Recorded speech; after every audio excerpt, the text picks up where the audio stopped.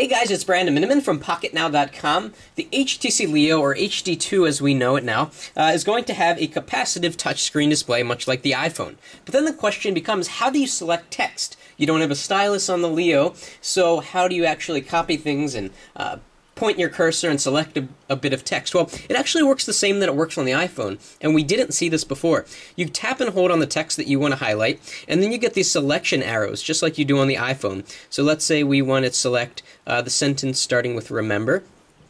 And then we get this pop-up where we can copy, select all, or go to the menu, which is just the context-sensitive menu um, for this particular area of the operating system. Now, I've tested this on a few screens, and it only seems to work in TouchFLO 3D. It doesn't work in, say, Word Mobile. In Word Mobile, you can just drag your finger along, and it will highlight. You don't get these cool brackets that help you be a little bit more precise. So something just interesting from the newest build of TouchFLO 3D 2.5 going on the HTC HD2. If you want to see the full full video of coverage on this new version of TouchFLO 3D. Uh, we'll put a link up on the video so that you can access that.